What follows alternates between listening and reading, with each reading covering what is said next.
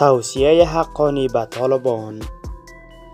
رفتارتان مردم را از دین متنفر و بیزار می کند به نام خداوند بخشاینده و مهربان باز هم خوش آمدید به یکی دیگر از ویدیوهای channel کابل وایس.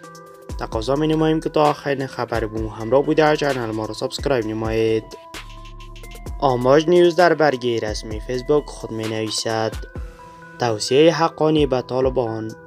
رفتارتان مردم را از دین متنفر و بیزار می کند سراج الدین حقانی وزیر داخله طالبان از جنگجویان این گروه خواست که با مردم رفتارتون نکنند زیرا به گفته او با این گونه رفتار مردم از دین متنفر و بیزار می شوند. طبق یک خبر دیگر وزیر خارجه طالبان رهس پار پاکستان شد. امیرخان متقی وزیر خارجه طالبان برای شرکت در نشست سه جانبه با وزرای خارجه پاکستان و چین امروز جمعه به اسلام آباد رفت.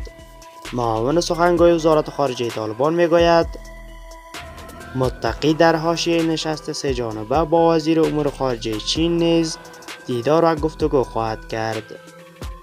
با تشکر از این که تا آخرین خبر بوم همراه بودید جهت حمایت کانال یوتیوب کابل را سابسکرایب و زنگ آگاهی را افشار بدهید. تا خبرهای دیگر الله یار و مددگارتان.